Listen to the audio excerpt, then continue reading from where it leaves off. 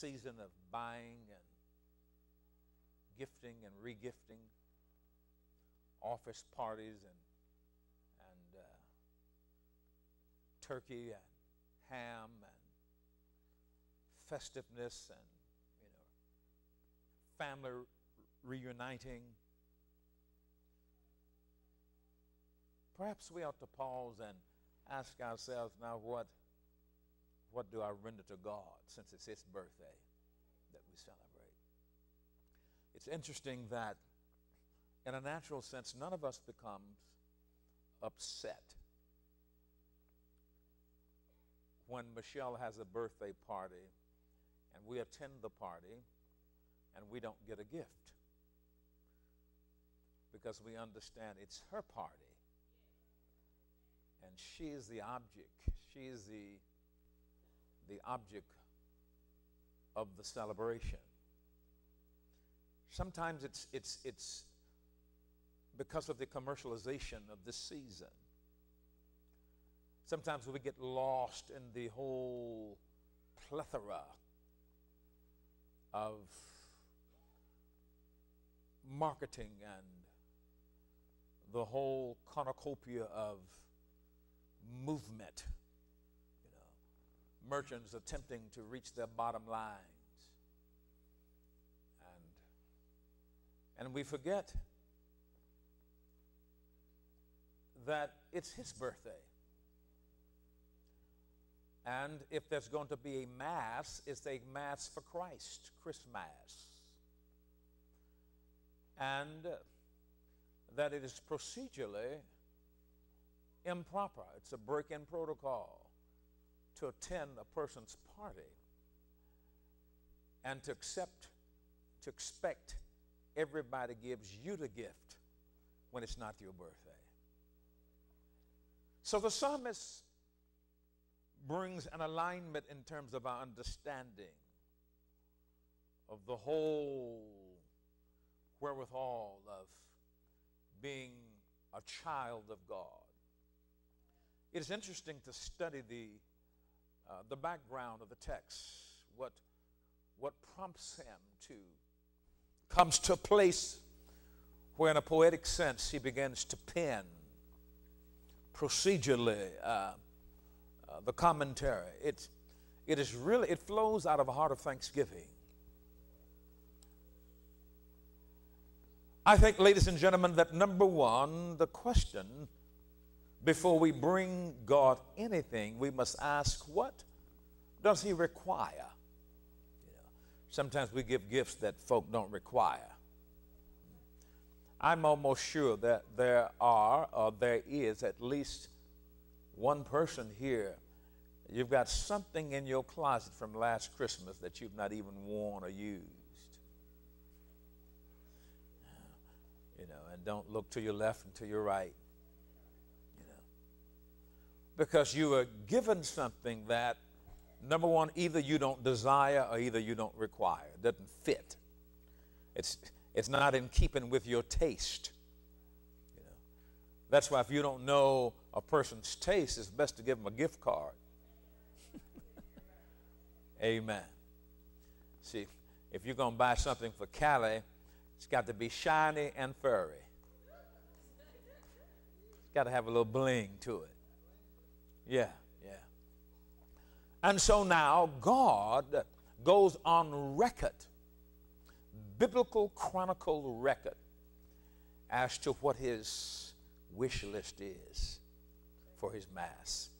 Number one, God wants the first and the fattest. You just don't force anything on the Lord and, and, and make an effort to make the Lord to feel that this is extremely valuable. You can't fool God with pleather and make him think it's leather. You're not gonna, you're not gonna get cut glass and ornately center it as a stone of opulence and significant importance and expense and make God think that Coca-Cola glass is a marquee from the diamond mines of South Africa. Because God's got a scrutinizing eye, He can see within the gift. he can, he can, he can, he, he knows what it cost or what it didn't cost. And it's something about rendering stuff to God. If you give God something that He does not require or desire, come on, you may release it and finding that He never accepted it. How much futility, how much stuff, how much religion, how much tradition, how many, how many millions of dollars we spend giving God stuff that, that God never accepts. You know, it's in the lost and found. You know, it, it, it never, it's privileged to be upon, uh, under the canopy of His pleasure or in a station of eminence in one of God's regal living rooms because it's, it does not coordinate with my the motif of my design.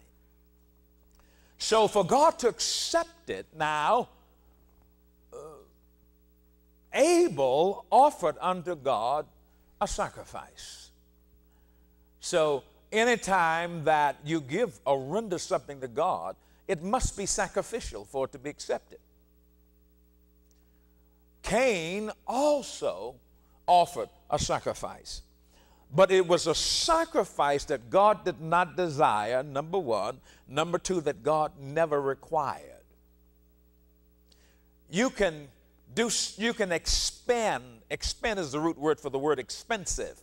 You can expend time and effort and, and be very tedious and laborious in doing stuff for God, around God, in the house of God, and find that it is not acceptable to God.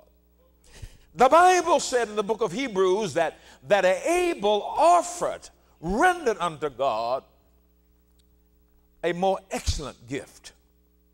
So that means that all gifts can be measured. God adjudicates the, the excellency of your gift, the, the level of excellency. Many in our lives, sometimes we're going to give God what's left over. Leftover time. You know, we want to start our fast after dinner and end it before the next meal. You know, come on now. We, we, we always want to we always want to pray as we're moving. We don't want to sanctify and set apart specific time just for you and God. Uh, you know, we want to, and but but but God says now, Abel, I accept your gift. And the heavens opened and and God consumed Abel's sacrifice. Now Cain offered the best of his garden. You know, it wasn't as if it was no it was not an effortless gift. He had to till the soil, plow it up, break up the rocks, remove the rocks. He had to make the rows and release the seed and plant the seed, water, wait for the time of harvest, the period of vegetation gestation where growth takes place. And so you can spend a lot of time doing stuff for God and give it to God, and God does not desire it, and God does not require it, and God will not accept it. So now, many folk are frustrated this morning because they've rendered stuff that God never asked you to give. And you didn't give him what he told you to give. Ladies and gentlemen, all you had to do was read the list. He told you what he wanted a blender some silver forks, some china, come on now, and a toaster.